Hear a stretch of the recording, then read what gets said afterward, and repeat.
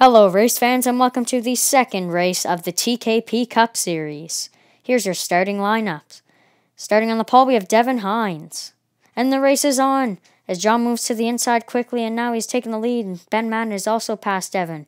And now John has started to clear everybody. Here comes John down the front stretch. So does everybody else coming out of turn two. And oh, there's almost a crash down the back stretch.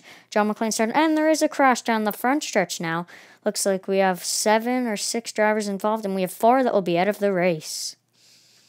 Here's a random green cat sculpture. And the race is back on. John McClain is still in the lead. And there he goes. He's already clearing away. His car is so fast today. And now Ryan Hayes has moved to the outside.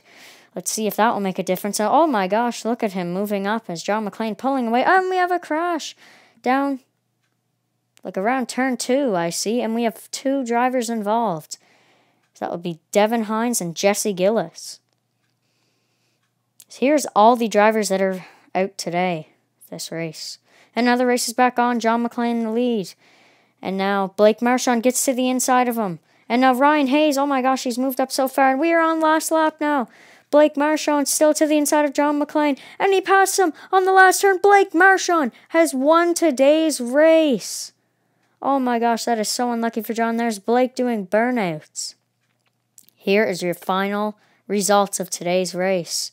John McClain led every single lap except the last lap. And now, here are your final results again for today's race.